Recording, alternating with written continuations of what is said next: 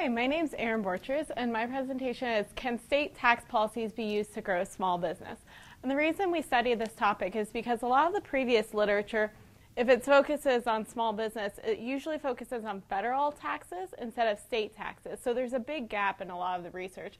And if they do focus on state level taxes, then they tend to focus on much narrower definitions like uh, entrepreneurial activity rather than small business activity. So we were looking at how these state tax policies affect small businesses, which are defined as businesses with less than 500 employees.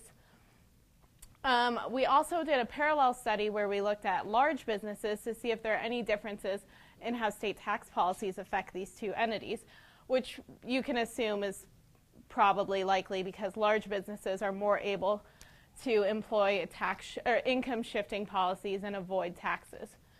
So when we're looking at our econometric model, uh, we have three main incomes that are our explanatory variables that we're looking at. We're looking, looking at the sales tax rate, the marginal, top marginal personal income tax rate, and the top marginal corporate income tax rate.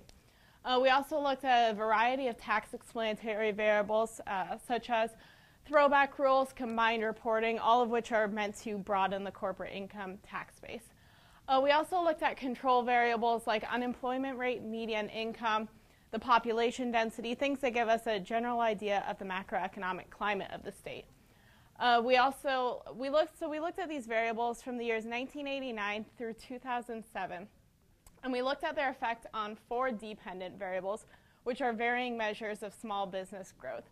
We looked at firm growth, establishment growth, employment growth, and payroll growth. And we did that for both small and large businesses. These graphs down here will show you how those variables have changed over our period of time. Uh, for example, small business firms and establishments are very close because small businesses tend to only have one establishment per firm.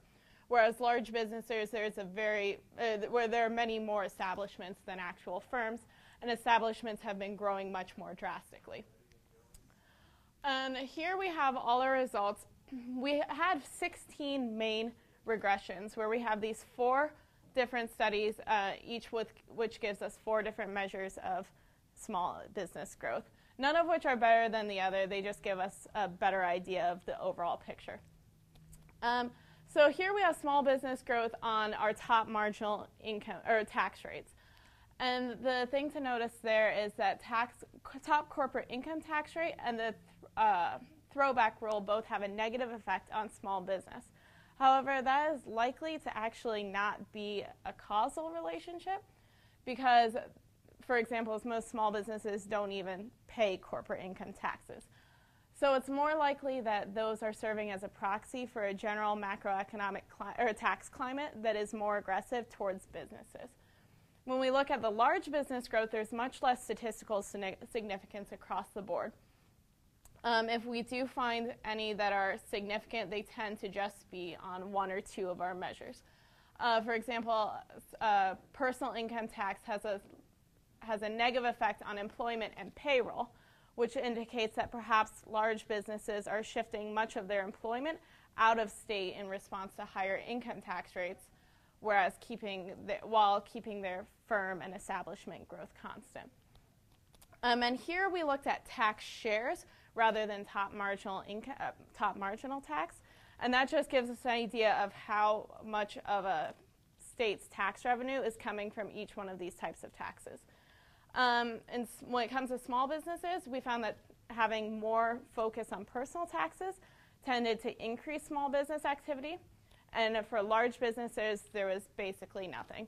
Um, so we also had one other study, which we don't show here, where we looked at effective tax rates. One complaint that my, many people have with top marginal rates is that they aren't representative of what people are actually paying. They just represent the highest tax rate that anyone would be paying.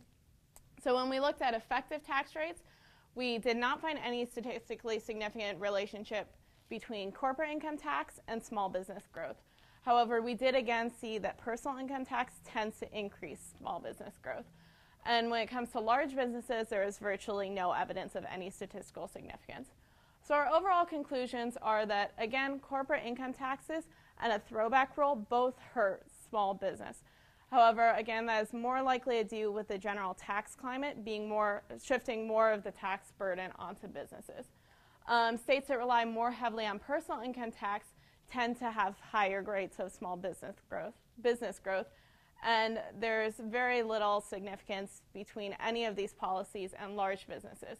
So the general conclusion or the the takeaway that we have from this research is that when state policymakers ha- spend a disproportionate amount of their attention on helping small businesses rather than large business, that's actually probably uh, justified given the fact that that's what they can affect more change in. Thank you.